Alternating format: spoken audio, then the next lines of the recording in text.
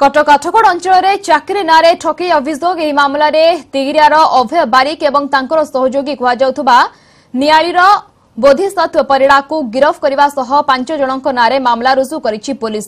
ଅଭିଯୋଗ ଅନୁସାରେ ବାଲେଶ୍ୱର ଚାନ୍ଦିପୁର ସ୍ଥିତ ଡିଆର୍ଡିଓରେ ଚାକିରି କରାଇଦେବାକୁ କହି ଅଭୟ ଆଠଗଡ଼ର ଶେଖ୍ ରେହମାନଙ୍କଠାରୁ ଦୁଇ ବର୍ଷ ତଳେ ତିନି ଲକ୍ଷ ଟଙ୍କା ନେଇଥିଲେ। ତେବେ ବୋଧିସତ୍ୱଙ୍କ ମାଧ୍ୟମରେ ଏହି ଟଙ୍କା ନିଆଯାଇଥିଲା ଏବଂ ପରେ ନିଯୁକ୍ତି ଏବଂ ପରିଚୟପତ୍ର ମଧ୍ୟ ଦିଆଯାଇଥିଲା। ହେଲେ ଏହା ଫେକ୍ ବୋଲି ଜଣାପଡ଼ିଥିବା ଅଭିଯୋଗ ହୋଇଛି।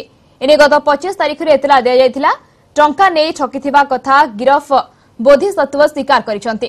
ସେବେଳେ ତିଗ୍ରିଆ ଥାନା ଅଧିକାରୀଙ୍କର ଅନ୍ୟ ଅତ୍ୟାଚାର ଅଭିଯୋଗ ଆଣିବା ସହ ତାଙ୍କର ବଦଳି ଦାବି କରିଥିବାରୁ ଯୁବ ବିଜେଡି ନେତା ଅଭୟଙ୍କୁ ଫସାଯାଇଛି ବୋଲି ତାଙ୍କ ସମର୍ଥକମାନେ ଅଭିଯୋଗ କରିଛନ୍ତି।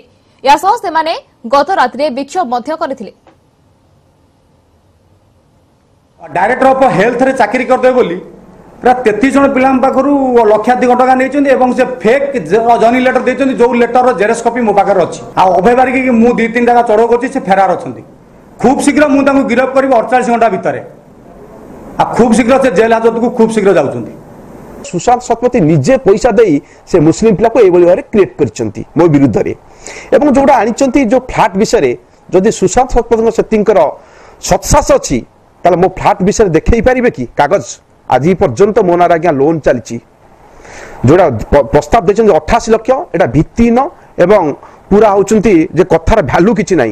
মো ফ্ল্যাটর মূল্য এত নুহে আজ্ঞা পচাশ লক্ষের এবার মু লোন চালিছি আজ্ঞা ইনস্টলমেন্ট বি দিয়ে পারুনি মো ঘরক বারম্বার চিঠি আসছে যদি কহবে মু আপনার চিঠি বি দেখাই পারিবি